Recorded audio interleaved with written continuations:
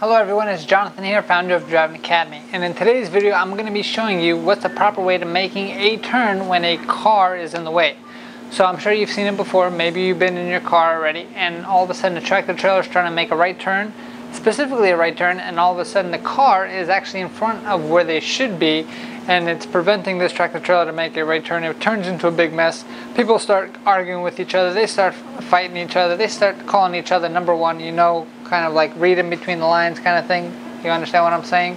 And now all of a sudden the, the car has to back up, so then the truck can kind of keep going, and the truck driver's pissed, and the car's pissed, and no one's happy.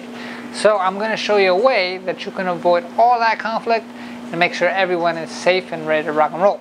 So let's kind of give you a picture of how this thing looks like. So I've drawn out a diagram where it's a one-way street going into a two-way street, and we're going to be making a right turn.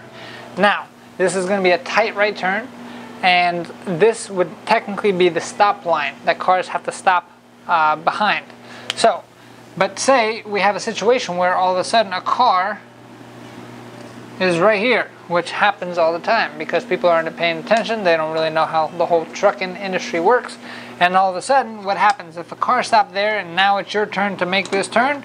This is one way. You you're going to have a really hard time. And of course, this is not the scale you're going to have a very hard time going through this situation without hitting this car, which means this car is going to have to go out of the way or back up or whatever has to be done. So if this situation happens to you during your CDL road test, it's extremely important. What you're going to do is you want to make sure you wait here. So if for whatever reason on your CDL road test or in real life in particular, this car is in front of this stop line, you want to stop here at your stop line and you do not want to move forward.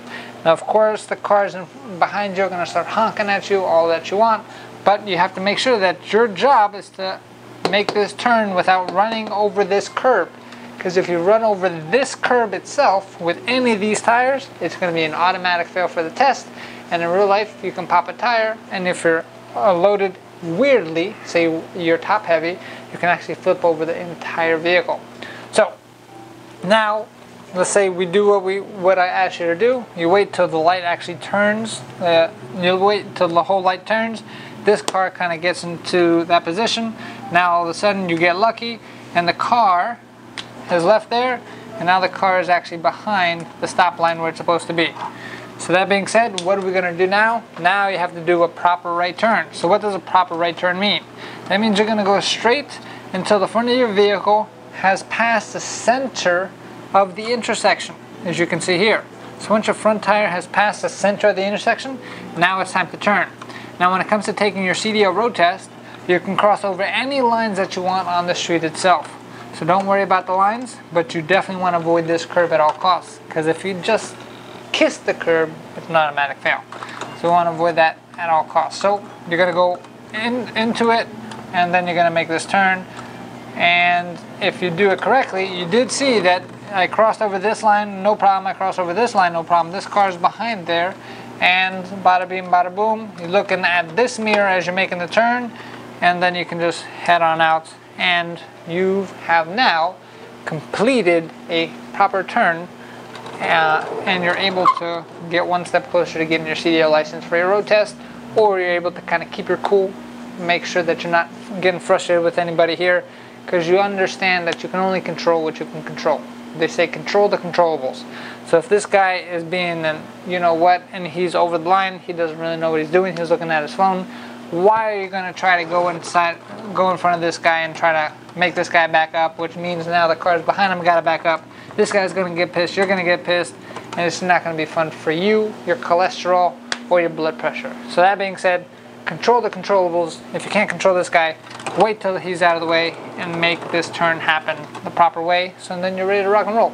Now the people behind you, so what? They're going to be upset, but you're doing the safest thing possible for you. So if you like this quick tip, make sure you like, you click like on this video here, and make sure you share it out with some of your friends. Maybe you know somebody who wants to get a CDL license. The best place that they should go and must go is going to be the best driving school in the country, which is Driving Academy. Here we have the best training available and we're open up seven days a week, which means we can fit any kind of schedule that you're looking for. We also do offer lifetime job placement, so it's our job to help you find a job after you, graduate with us. And as long as we're here to teach you, you're not going to be running over any curbs or anything like that. One of the cool things about our school is that we actually have a guaranteed training program. And how that works is we're going to give you 100 hours of training, and then after that training is complete, then we're going to take you for the road test. If you fail the test for whatever reason, we'll keep taking you and keep taking you until you pass at no extra cost to you. So you pay one price, you walk away with the CDL license, whether it's the first time, second time, fifth time. I think we got a guy going on now seven times.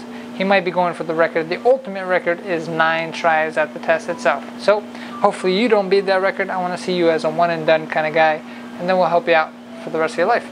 So if you're interested, give us a call, 908-525-3609. All you need to get started is $500 down, like I said, or you can take a virtual school tour at cdldrivingacademy.com forward slash tour. That's cdldrivingacademy.com forward slash tour. Thanks. Have a great day. Hey, thank you so much for watching this video. If you like it, make sure you hit that like button. Also, subscribe to our channel. It's really going to help us out. Click on that button. And if you want to continue yourself on your road to freedom, here's more videos to watch. There's endless amounts. Hopefully we get to see each other one day very soon. Thanks.